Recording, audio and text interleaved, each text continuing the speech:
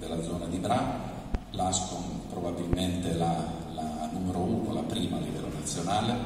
in termini di attività, di servizi, 106 dipendenti e collaboratori, sicuramente la prima in Italia in rapporto al, alle attività svolte e eh, il potenziale diciamo, del territorio che rappresenta.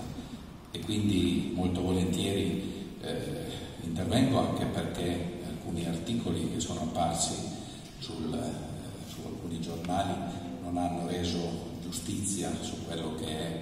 eh, che rappresenta il tessuto economico della città di Bra. Noi attraverso le nostre svariate attività nelle nostre tre sedi eh, operanti in Bra eh, abbiamo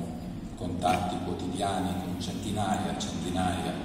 di operatori, centinaia di imprese, migliaia di persone che per motivi diversi, per attività imprenditoriale, per la formazione, per l'utilizzo dei servizi, per i consigli che, che chiedono quotidianamente, per il conforto anche in alcuni casi, in un momento anche non facile. Ecco, abbiamo la contezza di poter esprimere proprio dal, dalla, dal, dal risultato di questi colloqui che, che, abbiamo non da adesso che il tessuto economico della città di Brand è tutto sano. Naturalmente eh, auguriamo e siamo anche molto vicini a persone che stanno affrontando eh, una prova molto difficile e siamo sicuri che la giustizia farà il suo corso e renderà giustizia eh, su quelli che sono i fatti avvenuti. Ma eh, proprio per quello che è apparso all'esterno, credo che sia doveroso sottolineare il fatto che le imprese che noi rappresentiamo, del commercio, del turismo, dei servizi, dei trasporti e delle professioni, sono imprese rappresentate da persone sane, con sani principi che svolgono con difficoltà magari eh, la, la, propria, la, propria, attività. E anche in questo, come Confindustria, come l'intervento che è avvenuto prima, il tema della legalità è un tema molto sentito, anche e soprattutto dalla nostra organizzazione, dalla nostra Confcommercio nazionale, che non da adesso